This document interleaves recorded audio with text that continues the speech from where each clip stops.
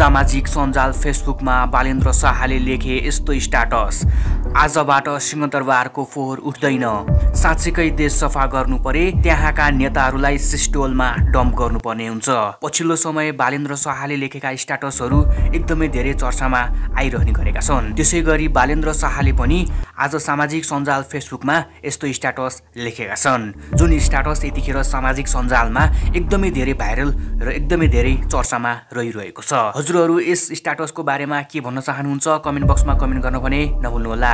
र यस्तै यस्तै भिडियोको लागि च्यानललाई सब्सक्राइब गरेर छेउमै रहेको बेल आइकनलाई प्रेस गर्न भने नभुल्नुहोला।